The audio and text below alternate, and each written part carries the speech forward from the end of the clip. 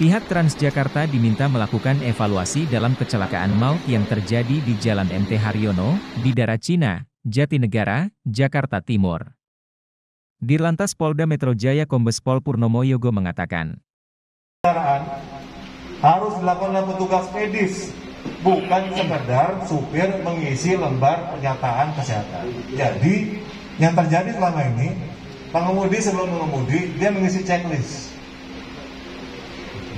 Harusnya diperiksa langsung oleh petugas medis, tekanan darahnya, pupil matanya, urinnya, dan sebagainya. Ya, itu ya rekomendasi kita yang pertama. Yang kedua, pada saat melakukan perekrutan pengemudi agar dilakukan pemeriksaan kesehatan secara benar, lengkap dan teliti serta melakukan penelitian secara lengkap ya, penelitian riwayat kesehatannya. Kenapa?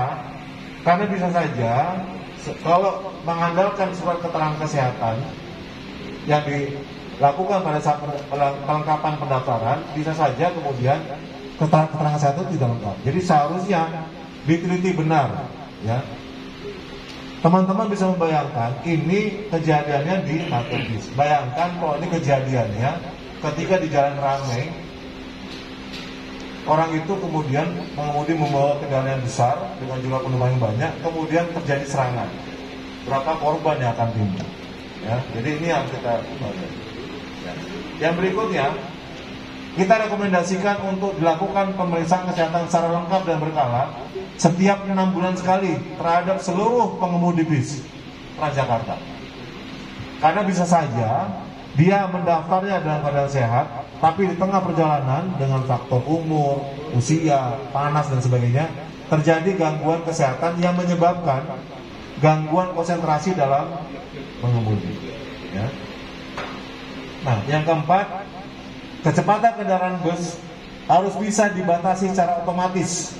Jadi misalnya kendaraan itu tidak bisa melebihi kecepatan tertentu, atau terdapat tanda peringatan ketika kecepatan kendaraan melebihi batas kecepatan ditentukan.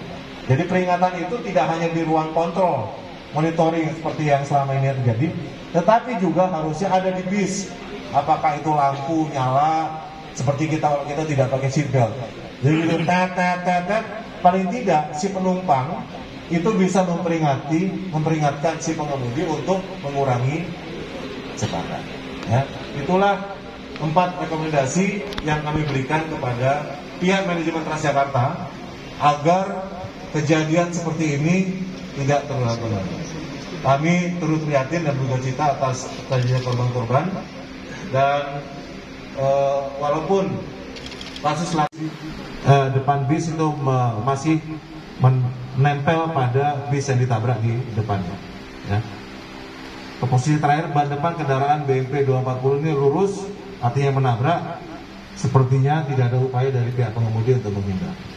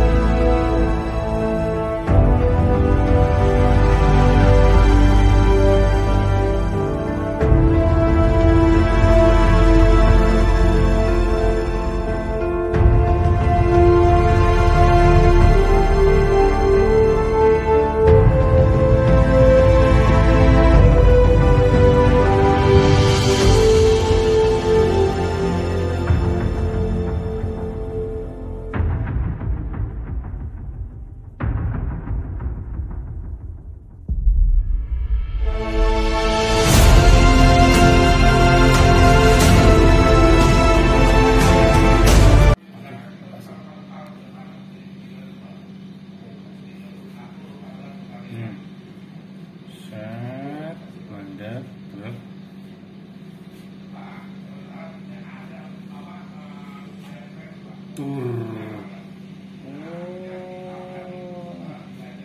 Mana belum?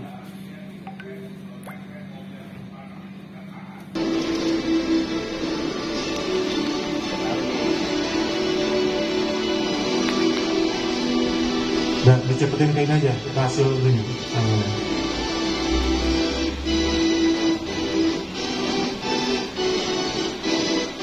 Ini kita lihat pemeriksaannya. Rekonstruksinya seperti ini. Dengan menggunakan 3D dari THA. Ini adalah salah satu teknologi kepolisian yang kita miliki untuk mereka ulang bagaimana terjadinya suatu Kelihatan bahwa ini terdolong 26,7 meter.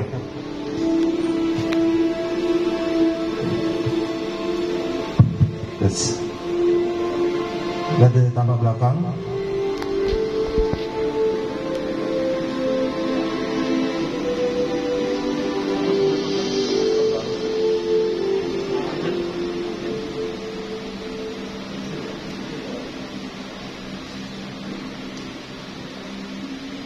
Jadi maju sampai setelah ditabrak pun maju sampai 26 meter.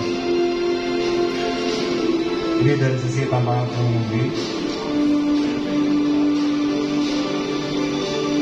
Tuh, kelihatan detiknya masih maju sampai sekitar 7 detik sejak ditabrak itu masih mendorong sampai dia berhenti. Ini analisanya. Next.